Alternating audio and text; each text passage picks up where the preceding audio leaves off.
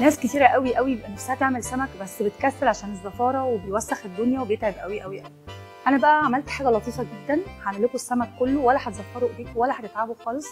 كله هنعمله في الكيس الحراري طريقة سهلة وبسيطة قوي. تعالوا مع بعض نشوف الوصفة أول حاجة هحطها ده الكيس الحراري بيتباع في كل السوبر ماركتس وده القفل ال- ال- اللي بيتقفل بيه ال- الكيس.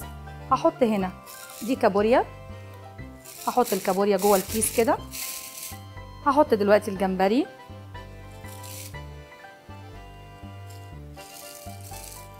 هنزل دلوقتي بال mussels أو قواقع اللي هي القواقع البحر أو بلح البحر.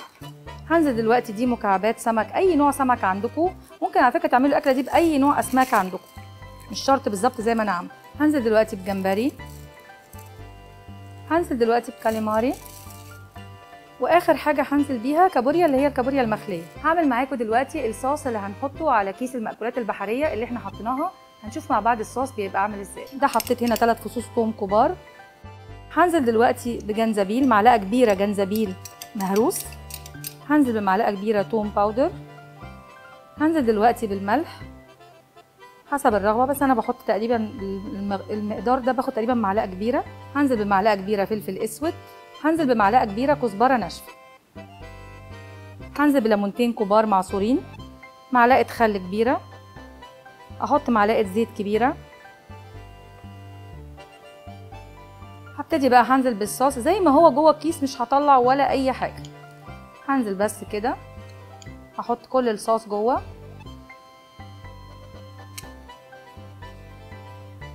هحط دلوقتي دي ذرة مسلوقة أنا سلقاها.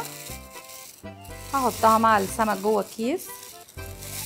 بتدي طعم رائع ونكهة رهيبة لل- للوصفة دي. وآخر حاجة خالص هنزل بيها زبدة تقريبا آه، 60 جرام زبدة. بس دي حاجة optional يعني ممكن ما تنزلوش بي يعني ممكن ما تحطوهاش أصلا لأن لو حد عايزة وجبة صحية تبقى وجبة صحية جميلة جدا بس بدون زبدة. وآخر حاجة خالص هنزل بربع كوباية مية بس كده وهقفل الكيس كويس جدا. هوريكم إزاي.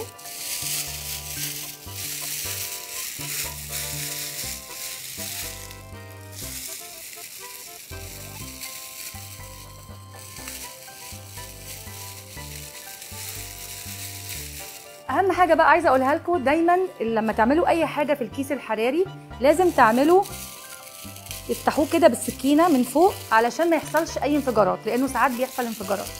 فخلي بالكم قوي قوي من الحتة دي.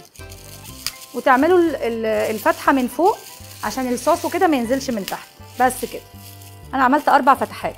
بعد ما خلصنا كده خلاص قفلت الكيس الحراري وعملت له الفتحات من فوق زي ما قلت لكم قبل كده. هحطه في صينية ما تدونوش الصينية ولا أي حاجة صينية فاضية بس هتحطوه في الفرن على درجة حرارة 200 وهنشوف بعد كده هيقعد تقريبا نص ساعة هنشوف هيطلع شكله عامل إزاي.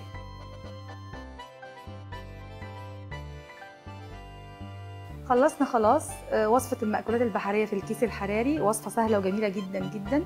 يا رب تكون عجبتكم ال recipe دي و bon appétit كل وصفاتنا تجدوها حصريا على موقع الوصفة dot com.